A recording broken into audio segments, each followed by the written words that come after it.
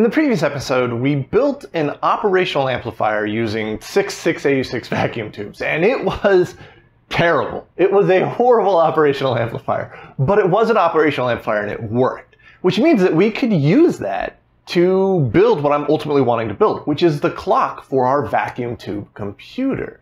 Now, our clock has some pretty interesting requirements, which I'll get into a little bit later. Uh, but this operational amplifier would work, but I just I can't leave well enough alone. And I, after I made that video, I, I sat around thinking that there was a lot of performance and capability just left on the table. And so that's what I want to do today. I want to take a look at potentially enhancing the performance of that operational amplifier so that it performs much more closely to a real operational amplifier. And we're going to do that actually by reeling our knowledge all the way back to the very beginning because I think there might be a fundamental flaw in how we're building our inverters, which is what we're using as the, the basis for everything that we build. So this episode I'm going to split into two parts. We're going to have the first part where we take a look at the inverters and maybe do some testing and try to figure out the best inverter design. And then the second part is going to be we're digging into that operational amplifier and building a better version of it. Uh, and instead of making you guys wait a whole week for the second part to come out, I'm going to release the second part tomorrow. So uh, they're going to go back to back, which is fantastic. And that'll be a lot of fun. But first, we got to hop over to the bench, take a look at our inverters, and see how we can improve them to hopefully ultimately improve the performance of our op amp. So let's hop over there and get started. So this is our basic inverter, and this is essentially the fundamental building block that we've been using to create almost every single circuit that we've built up to now. And you can see I've drawn it here as a triode, but this could really be a, a, triode, a tetrode, a pentode, a heptode, pretty much whatever you can get your hands on. And it's laid out really simply. You can see that we have a resistor coming into the plate, and then the output is pulled off of the plate as well. And then we have a current limiting resistor for the grid, and then we have two resistors set up as a voltage divider to essentially bring the input down to a level that the grid is expecting. And so the grid ultimately controls the amount of electron flow through the tube. So if the grid is completely negative, there's no electron flow through the tube at all, which means that our output gets pulled up to the same level as our B plus voltage, which in this case is 24 volts. Now when the tube starts conducting and it goes into full saturation, that is as many electrons are flowing as is possible, the output's going to be pulled low. And this act of pulling the output high and low is how we're getting our logic high and logic low that we're using in all of our circuits that we've built up to now. So the more I thought about this and the more I thought about the plate resistor and how the vacuum tube actually operates, the more I started to realize, and I, I don't know why I didn't realize this sooner, but the vacuum tube itself actually kind of operates as a giant variable resistor or potentiometer, just like this we can kind of think of the plate as coming into the center pin, and then we have one pin going to ground, and well, the other pin stays floating. And then the position of that center pin can change based upon the input voltage, which is, you know, coming into the grid. So if we move that all the way up to here, we get the maximum amount of resistance. And if we move it all the way down to here, we get the minimum amount of resistance. And so the, the vacuum tube is essentially that because if it is in full saturation, that means a maximum amount of electrons flowing from the cathode to the plate here, that's the same as having a very small resistance. Or if it is in full cutoff, which means that the grid has a sufficiently negative charge to prevent any electrons from flowing, that's like, mm, you know, moving the center pin of the potentiometer all the way up to max here and having the maximum amount of resistance except that most potentiometers can go all the way to zero, and a vacuum tube is always going to have some internal resistance in it, even if it's in full saturation, so we won't quite go to zero. And most potentiometers don't have the massive amount of essentially internal resistance that a vacuum tube has when it's in cutoff. So we kind of end up with a variable resistor that can go from something like, say, uh, I don't know, about 3,000 ohms all the way up to 100 mega ohms or something incredibly massive like that. And so when it's at 100 mega ohms, it's essentially cut off, and that means that the output here is going to be pulled up to 24 volts. But when you're in full saturation, and we come right on down to about 3000 ohms, well, that's interesting because now we just have a voltage divider. And so 3000 ohms down here, and if we have a 10,000 ohm plate resistor, that gives us an output value here of about, uh, I think, five and a half volts. And so the internal resistance of the tube is kind of what is limiting our output from coming any lower. Now, a, a 24 volt to 5.5 volt swing is, is fantastic. That's a, a massive amount of voltage swing. But I think we can do better. And because the grid of a vacuum tube is incredibly high impedance, we don't actually need all that much current coming out of our output here. So we can actually crank this plate resistor value right on up. And so if we take a look at cranking this up to say 33,000 ohms, if we have 33,000 ohms here and 3,000 ohms here, that means our output's going to come all the way down to like 2 volts. That's awesome. All right, but that also means that when the tube goes into full cutoff, we still go up to 24 volts. That is epic. Now, of course, that means that we're going to have to increase the values of the divider network here for the grid because this output often feeds into another inverter. So this output will go into the input of another one. And we have negative 12 volts here. So if these values are too small, there's not enough current here and that's just gonna pull that value down and nothing's gonna happen. So we need to crank these right on up as well. And I was using 22,000 ohms and 33,000 ohms here, but I think we're going to push that all the way up to uh, probably about 220,000 ohms because I have a lot of those hanging about. So before we go any further, let's pop a breadboard out and just give this a quick shot and see what the result is. All right, so we've got a really basic setup here. We've got a 6AU6 pentode here, which means that we have a 100 ohm uh, screen grid resistor right here. Uh, but other than that, it's set up pretty similarly to how a triode would be set up. This is currently set up in our old style. We have a 10,000 ohm resistor here, and then we have a 22,000 ohm resistor for input and a 33,000 ohm resistor to negative 12 volts right here. And right now, the 22,000 ohm resistor is going through a push button, which isn't being pushed. So the 33,000 ohm resistor is pulling the grid to negative, which means that our output is going to be high. So you can see that we, we're reading 24.2 volts here. Now, if I push this button, what that should do is pull the grid high enough that the tube goes into saturation, which means that we should see an internal resistance of about uh, 3, 3,000 ohms or so. And a 10,000 ohm, 3,000 ohm voltage divider should give us about five and a half volts. So let's push that button and see what happens. yeah, yeah, look at that. I actually didn't expect it to be pretty much exactly five and a half volts. Um, so I guess that means that the internal resistance of the 6AU6 when in full saturation at 24 volts is pretty much 3000 ohms. That's awesome. All right, so Next, let's change out our plate resistor with a 33,000 ohm resistor. And let's also change out our voltage divider network uh, input resistor here with uh, two 20,000 ohm resistors. So let's change that right quick.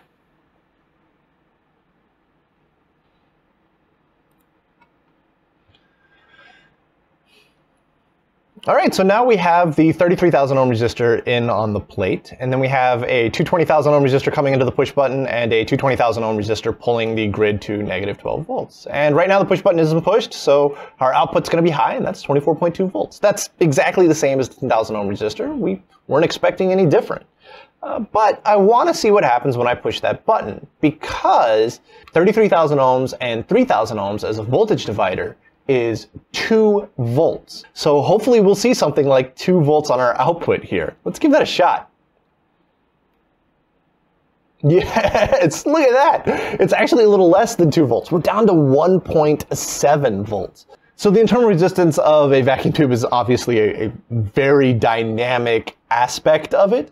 Um, but you can see it's still right around 3,000 ohms.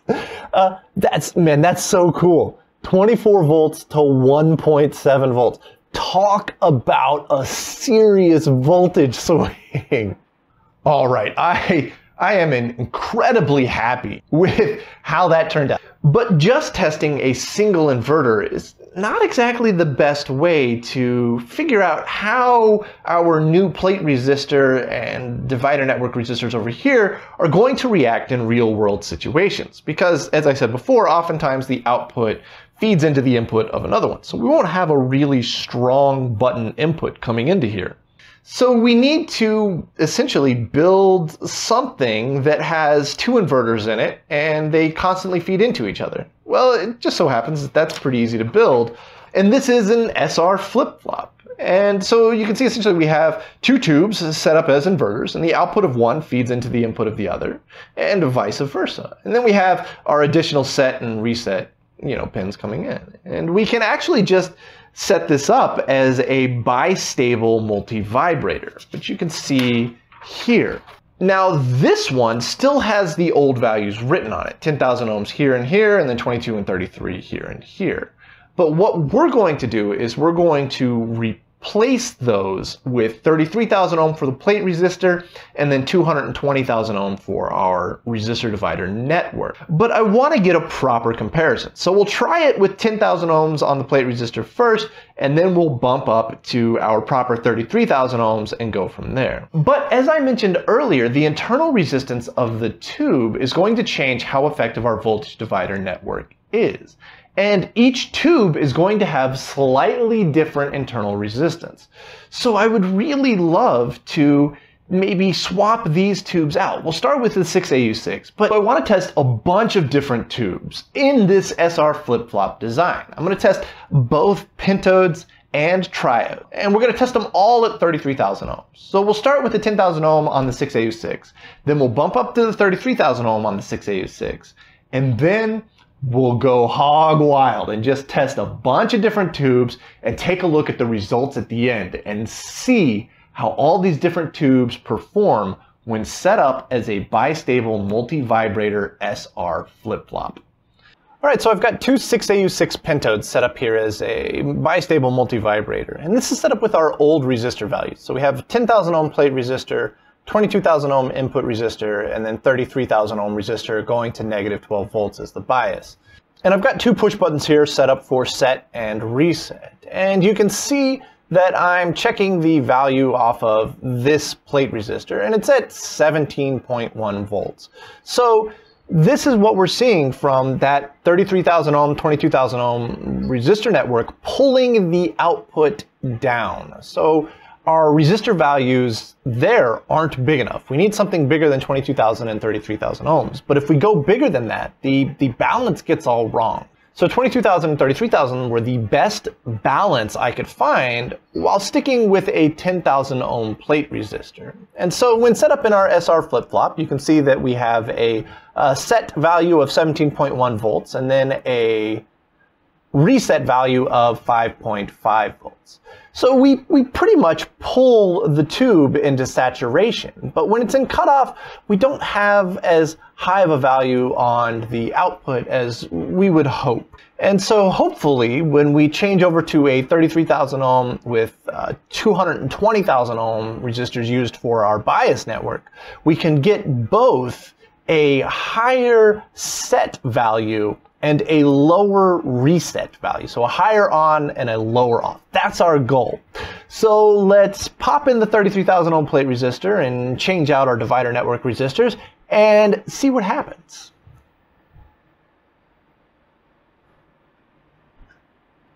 And you can see right off the bat that our set value, our high value, is much larger. We were getting like 17 volts before. Now we're at 21 volts. So that's a massive increase. So that's already a huge win in my book. That's awesome. But let's see what our low value is when the tube goes into saturation. Because before we were getting about five and a half volts. So hopefully we'll get something a little lower this time. Let's give it a shot.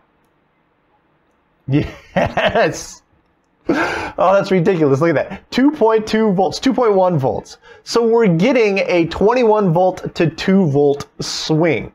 That is unbelievable for a set reset latch. What a massive improvement.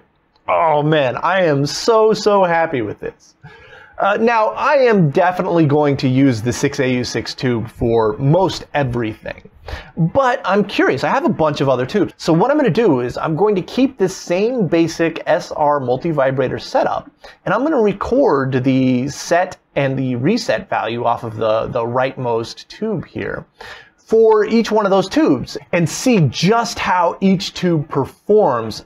And then we'll take a look at the results and hopefully we'll see something interesting.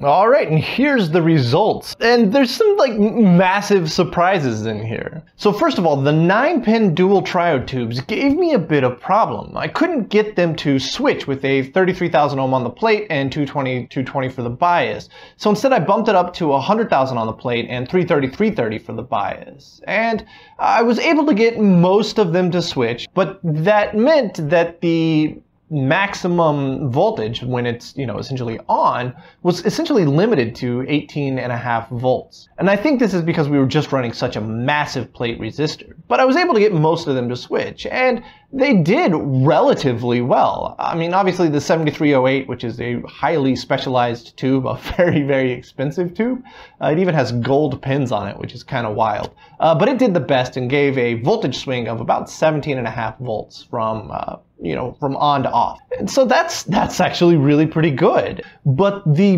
big surprises all came from the pentodes. So the 6AU6 was essentially my benchmark. And I didn't think anything was really going to be able to beat the 6AU6, but there were actually four tubes that outperformed the 6AU6. I'm just blown away by that. So the, the 6BK5 and the 6CL6 were both phenomenal tubes. They were 21.1 volts to 0.6 volts for the, the 6CL6. I mean, that's, that's insane. That's a voltage swing of 20.5 volts. That was essentially the best tube. And the 6CL6 is a power pentode, so it's got really big plates. And so that means it can move a ton of electrons, which is why we can see such a low value when the when when the SR flip flop is essentially in reset when it, when it's off. That's crazy. 21.1 volts to 0. Points. That's that just blows my mind. But not as much as the 6AS5, which is a Heptal tube. It's a 7-pin tube. But again, it's a really tall tube with really big plates, so it can move a ton of electrons. Now, it didn't have as high of a voltage when it was in set, but the 6AS5 came all the way down to 0.1 volts. This is insane. That's essentially ground. Unbelievable. If if I had the choice, I would build everything out of the 6 AS5s. But uh, unfortunately, I've already bought hundreds and hundreds of the 6 AS6 tubes.